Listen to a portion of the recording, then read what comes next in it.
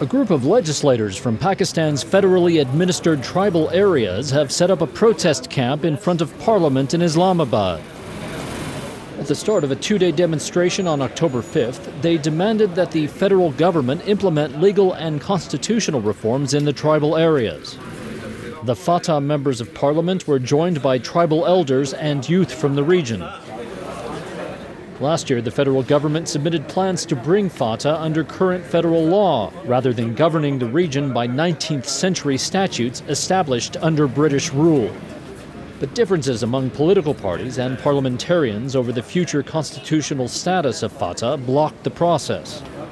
Some want FATA to be a separate province, while a second group wants the region to be merged with the adjacent Khyber Pakhtunkhwa province.